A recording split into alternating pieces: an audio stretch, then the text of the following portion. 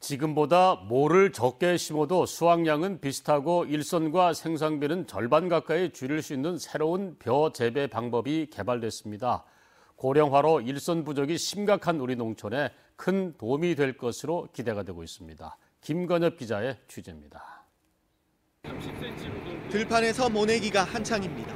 그런데 촘촘하게 모내기를 한 보통 농과 달리 무언가 빠진 것처럼 듬성듬성한 모습입니다.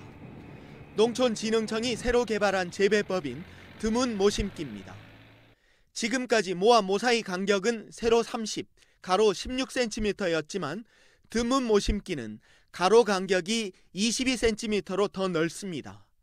간격을 넓게 하고 모의 양은 줄이는 건데 이렇게 해도 쌀 수확량은 비슷한 것으로 나타났습니다.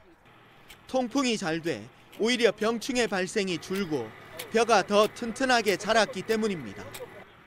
특히 비슷한 수확량을 내면서도 기존 모내기에 비해 육묘 상자가 줄고 파종부터 이양까지 노동 시간이 10아르당 1.9시간으로 노동력은 27%, 생산비는 42%나 감소하는 효과도 나타났습니다.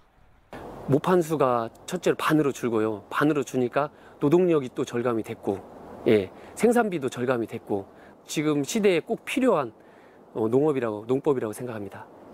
농촌진흥청은 올해 50여 개 시군 농업기술센터를 대상으로 실증 시험을 진행하고 결과를 분석한 뒤 내년부터 전국으로 확대해 나갈 계획입니다.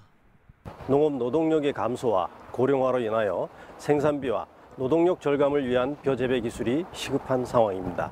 최소한 30에서 40%의 벼 농사 생산비 절감 효과를 기대하고 있습니다.